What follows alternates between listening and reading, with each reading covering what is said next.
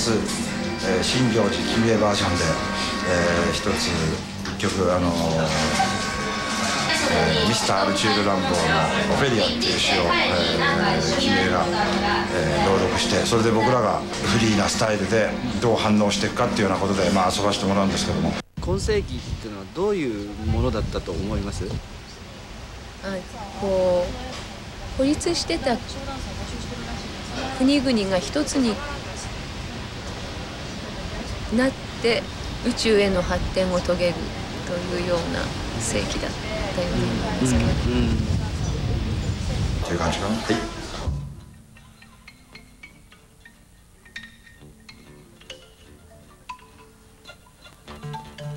星たちが昇る静かな黒い流れの上白いオペリアが大きな百合のように浮かんで長い輪に横たわりゆっくりと浮かんでいく遥かな海では獲物を声がする。もう千年ももっと前から悲しげなおめり白い幼さながら長い黒い流れを過ぎもう千年ももっと前から彼女の優しい物具そよ吹く夜の風の中恋歌をつぶやいている風は彼女の耳に口づけ緩やかに流れに揺れ大きなベリを花びらのように広げる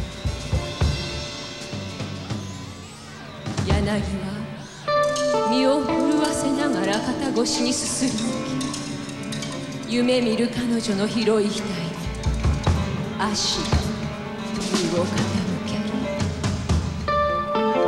押され乱れた睡蓮が彼女の周りでため息をつく時に眠りに落ちた歌詞の木何かの鳥の巣が見せバタかすかな羽ばたきの音が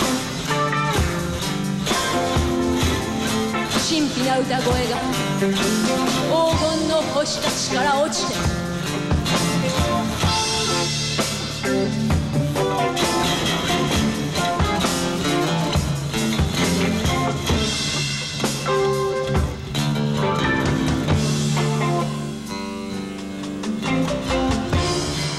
大葉を覚めたおへ雪のように美しい。そうだお前はとけない。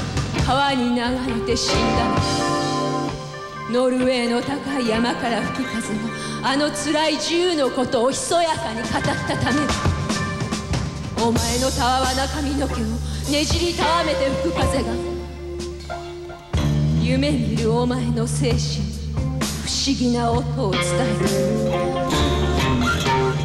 日の波夜の吐息お前の心あの自然の歌聞いてしまったためなのだ。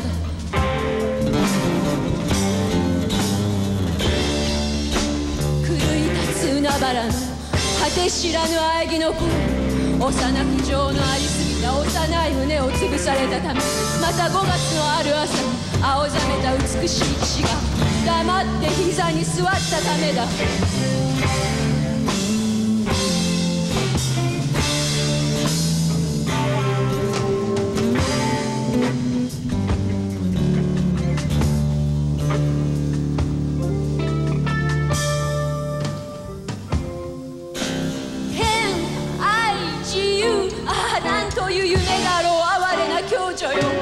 お前はあいつに溶けてしまった。雪が火に溶けるように。目に見る大きな幻に胸が詰まって言葉も出ず。恐ろしいあの無限が青いお前の目を消した。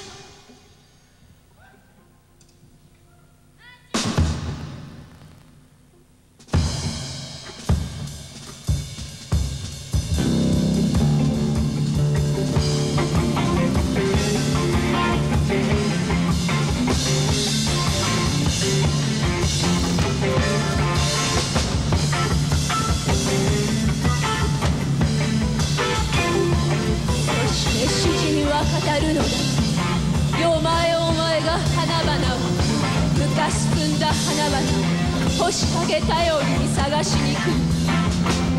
長いベールに横たる。真っ白いオフェリア。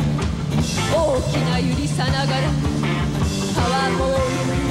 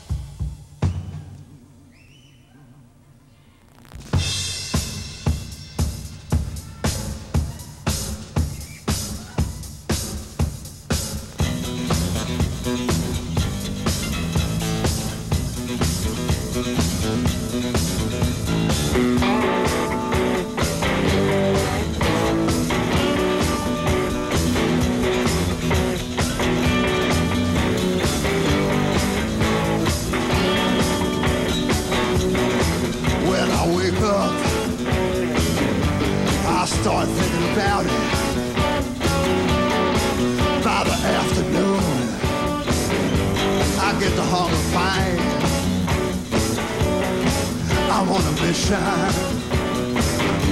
My mind's on the loop. I can't think. I need a drink of pink soup.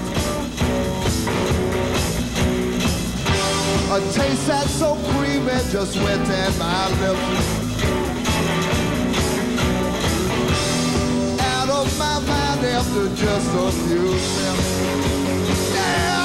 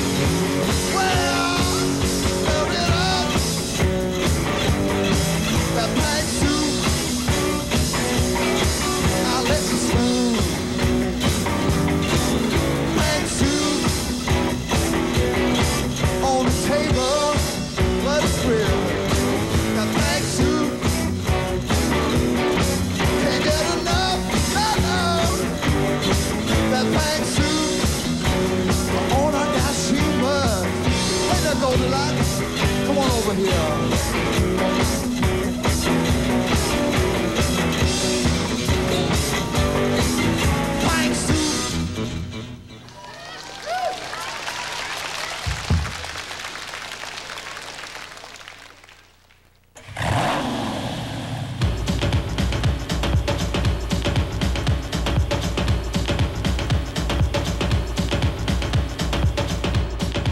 Pink soup. 私にとっての1回目の青春エジプトのなんか遺跡の年表を見たんですけどこの20世紀なんかね点でしたあじゃあレースレース線にもなってないテーマはねあちょっと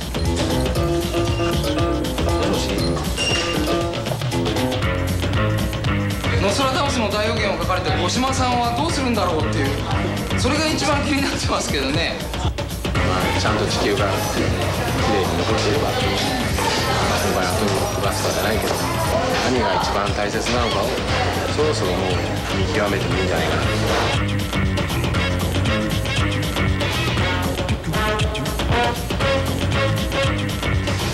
田中さん五島ベンさんですか？はどうするのかなと。どうですか？もう少しで終わっちゃいますけど。何が？何かその20世紀が終わっちゃうと。例えば今年の20世紀あここの20世紀生まれてたまたま生まれてしまったわけですよね。遅刻してすいませんでした。20世紀ってどんな世紀でした？千年というのは。100年。100年？あ100年どんなせい結構でかい本当はいらなかったんじゃないかなっていうものもたくさんあると思う。殺し合いとか戦争とか例えばそういうものを置き換えたらそういうものもあるかもしれない。だから2000年からそういったものを頭を切り替えられるようなかっこいい人間になっていかないとダメになるんじゃないかなと思います。ちょっとかっこいいよく言い過ぎだけどそんなことじゃないでしょうとあのこのイベントも僕たちバンドももう皆さん全員そうだと思いますけど続けていく、えー、仲間増やして続けていくってことに意義があるんじゃないかと僕は思ってます。だからそれに参加できて嬉しいです。21世紀になったら2回目の青春を迎えようと思っております。